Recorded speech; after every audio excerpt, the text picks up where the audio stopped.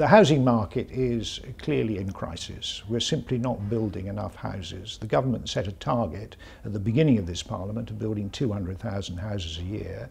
Our inquiry has shown that at least 300,000 houses is, is needed a year, new homes are needed a year, if we're to meet the demand and if we're also to attempt to moderate price rises.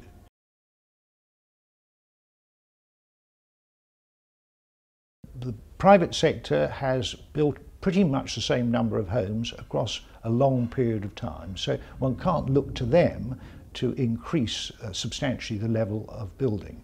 The, the local authorities, who historically were major contributors to the house building, to building new homes, can and have the ambition, have the skills, have the ambition uh, to actually do that. And so they must be supported and that the rules currently surrounding how much they can borrow, what they can borrow, uh, should be changed so that they can in fact enter into the house building market in a very big way, either on, the, uh, uh on their own behalf or in partnership with others, particularly the housing associations.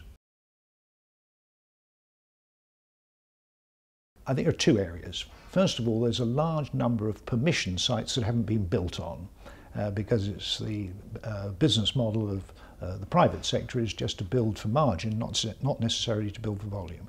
So in order to encourage building on those already permissioned sites, we would propose that uh, local authorities have the right, after an agreed period of time, to charge council tax on those sites to provide an incentive to get them built. The second area is public land. Ministry of Defence, uh, National Health Service, Transport for London own very significant tracts of land many of which are close to transport links and which are ideal to be built on.